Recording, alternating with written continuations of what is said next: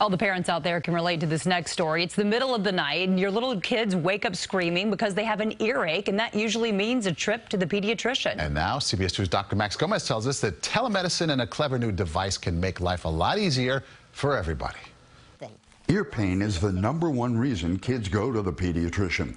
30 million doctor visits a year. But the vast majority of cases are not bacterial infections that antibiotics don't help. How to tell the difference? You really need to see a clinician with you know expert training but who can use the right tools to actually see the middle ear um, and, and, offer you an accurate diagnosis. Six-year-old Bolton Ruth sort of remembers earaches from his younger days. I don't know. You don't know? What do you do? I don't know. You tell me you don't feel good. I don't feel. I told my dad I don't feel good.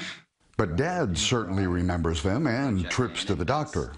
My wife and I both work, and so it's a, a game of, will this time work for you, or can you take him? Can I take him? That's what led Dr. Angela Fasaro to found Physician 360, a combination of a telemedicine consult with a clever home otoscope, a thin pencil-sized device with a light and a camera that connects to your computer or tablet device.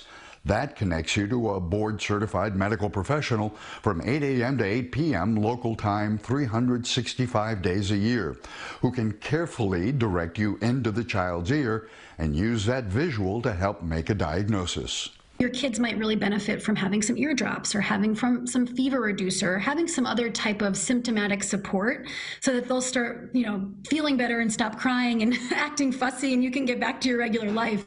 Cost for the home otoscope is $80 and includes your first telehealth visit. Subsequent visits are usually covered by insurance.